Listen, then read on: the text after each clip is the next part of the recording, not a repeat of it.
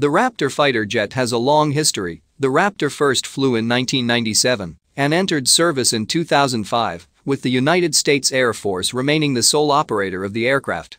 The initial plan order of 750 of the type was drastically reduced to 187 due to high costs and lack of air-to-air missions.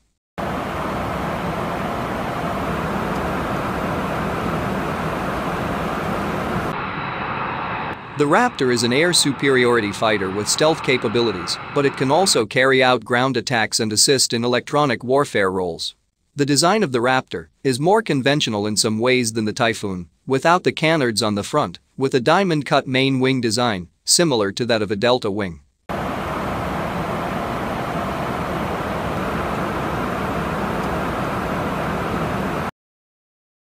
The Raptor is also capable of Mach 2.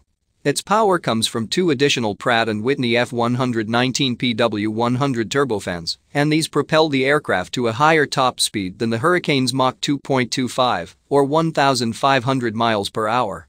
In terms of the Raptor's armament, a variety of weapons can be carried including in its internal weapons bay. It has three of them, which can carry weapons such as the AIM-9 Sidewinder and the AIM-120 AMRAAM. The Raptor also houses a 20mm M61A2 Vulcan rotary cannon, and the main gun bay can also house a bomb rack for weapons such as the JDAM GPS.